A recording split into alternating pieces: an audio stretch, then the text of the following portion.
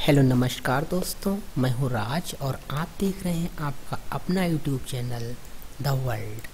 तो आज हम आपको बताएँगे कि आपको कोई भी फॉर्म भरना होता है, उसमें आपको एज बताता है कि 15 से 20 वर्ष का व्यक्ति इसमें फॉर्म डाल सकता है 25 से 30 वर्ष का व्यक्ति इसमें फॉर्म डाल सकता है।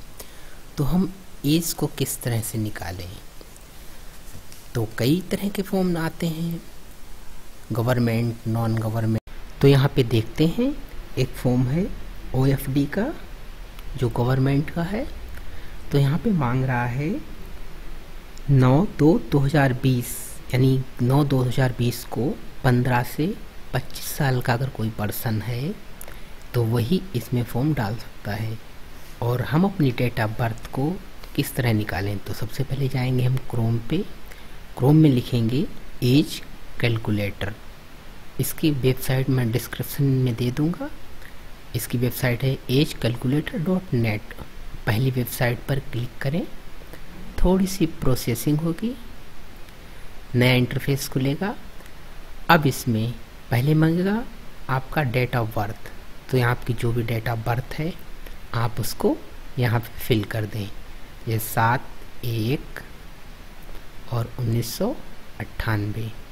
यहाँ पे कैलेंडर दिया हुआ है। यहाँ पे लिख भी सकते हैं। उन्नीस सौ अट्ठानवे। तो यहाँ पे वन नाइन नाइन एट लिख देंगे। नीचे आप इसमें देखते हैं। कितनी तारीख से मांगा है? नौ दो दो हज़ार बीस। तो यहाँ पे नीचे हम लिखेंगे। नौ दो दो हज़ार बीस। तो दो, नौ 2020 ठीक है? यहाँ पे मंथ सेलेक्ट कर लेंगे।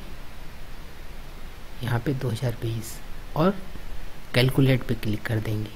तो आपको यहाँ पे दिखाई देगा, दो बाईस साल, एक महीना, दो दिन का हो गया हूँ मैं। तो इस तरह से आप आराम से फॉर्म भर सकते हैं।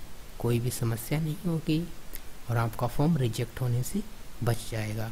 तो अगर आपको वीडियो पसंद आए तो वीडियो को लाइक कीजिए। अगर आप हमारे चैनल पर नए हैं तो आप हमारे चैनल को सब्सक्राइब कीजिए। फिर मिलते हैं एक नए वीडियो के साथ। जब तक के लिए जय हिंद, जय भारत।